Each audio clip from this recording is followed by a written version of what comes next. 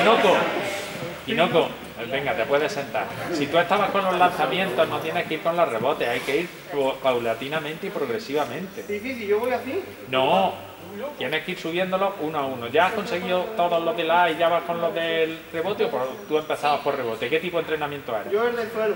Ah, vale, empezaste por suelo, ¿no? Vale, bien. Pero, hay que subir la figura final nada más. La figura final nada más. Bien, vamos a ver este vídeo. Tenemos aquí el vídeo de nuestros queridos compañeros Alicia, Luis y Paula. Eh, Alicia, Luis y Paula, además se han puesto ordenados. Bien, entonces, eh, 1x2, supongo que habréis jugado, es parecido a otros como A y U, y el formato es similar a otros como parecido a patata caliente, cosas de este tipo. Eh, tiene cuatro dibujitos que más o menos está bien, pero hay una cosa que sí me hubiera gustado, que si ponéis, a lo mejor lo he eliminado o lo que sea, lo que pongáis de otro eso, ponerlo, está bien que lo hayáis puesto unos claros y otros oscuros, pero si ponéis cuadraditos, mejor. Que el que sea atacante o defensa no es que sea el rol de atacante o defensa, sino un rol diferente, ¿vale? Y por lo demás, los objetivos motores, mejorar la velocidad, golpear el balón con precisión.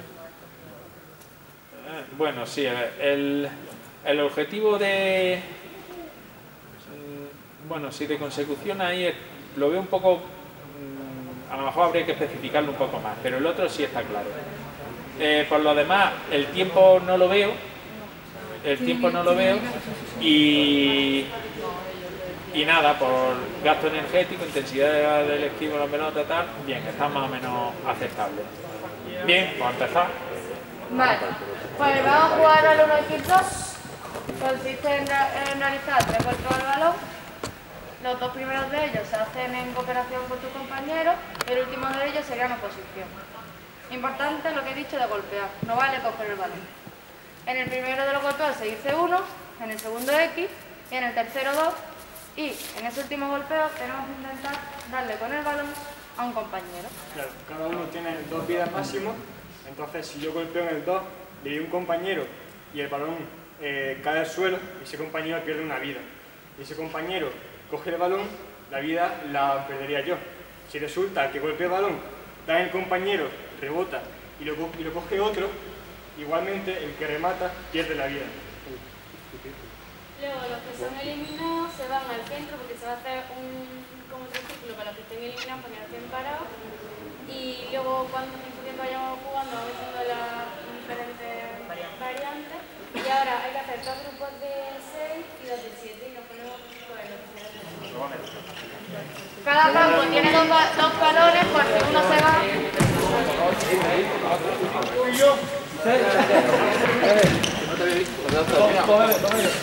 Sebenarnya